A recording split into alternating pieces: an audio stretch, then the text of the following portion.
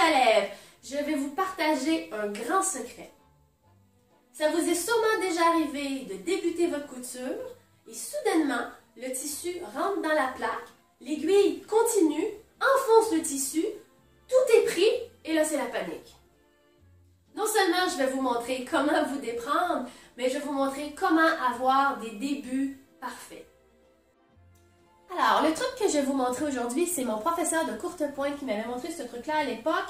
C'est pour éviter que le tissu prenne dans la plaque. C'est sûr que si je prends une plaque à un trou, ceci ne se produira pas. Par contre, si je suis dans un tricot, je veux faire un zigzag, c'est sûr que ça me prend la plaque à zigzag. Et c'est à ce moment-là que malheureusement, souvent les tissus, ils rentrent dans le trou de la plaque. Alors, le truc, c'est de prendre une retaille. On peut appeler ça un rebut ou une chute.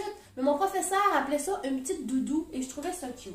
Alors, l'idée, c'est de partir juste dans le tissu, mais comme un peu vers la fin. Et juste partir tout simplement. Et quand vous arrivez à la fin de votre taille, votre doudou, vous arrêtez et vous gardez l'aiguille piquée. Et à ce moment-là, vous prenez votre projet et vous êtes prête à commencer. Comme là, je suis dans de la, mèche avec un élastique, vous savez très bien que c'est difficile à partir. Donc, je vais tout simplement me mettre à la suite, comme ça ici,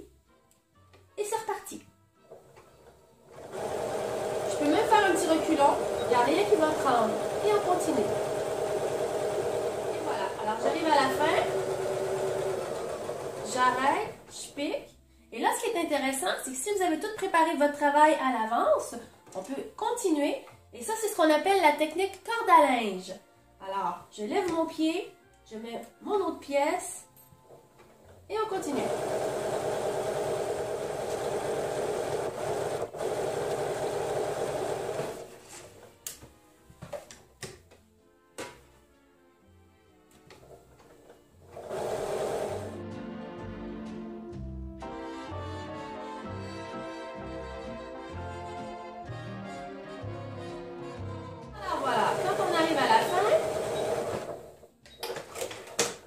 Comprendre maintenant pourquoi on appelle ça la technique corde à linge.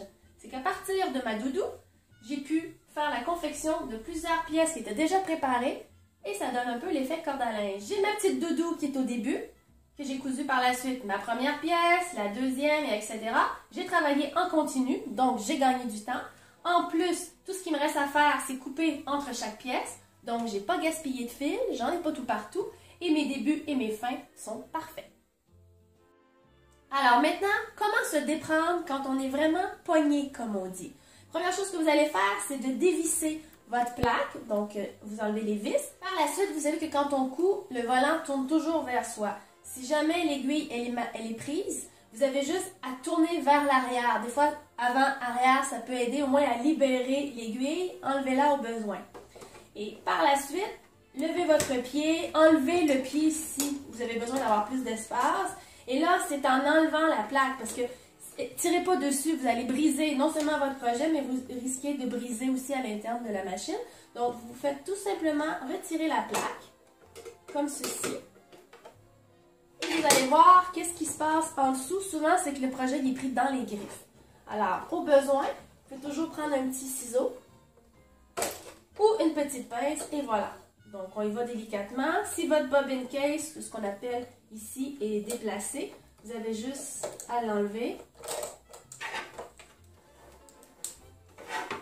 Vous enlevez tous les fils qui sont dans le chemin, idéalement même celui d'en haut. Et vous enlevez votre canette. Et vous replacez votre porte-bobine ou votre porte-canette. Et voilà. Et à ce moment-là, voyez-vous la cochonnerie que ça l'a fait? J'ai juste à tirer délicatement, mais j'aurais pas pu faire ça en ayant la plaque sur la machine. Je replace ma plaque, je la revisse et après, je vais aller insérer ma canette.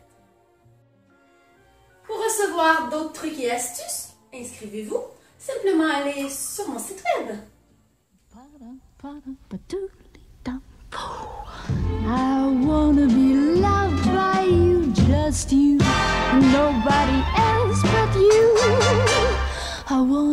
Loved by you, the deedly deedly deedly dum, boop boopy doop.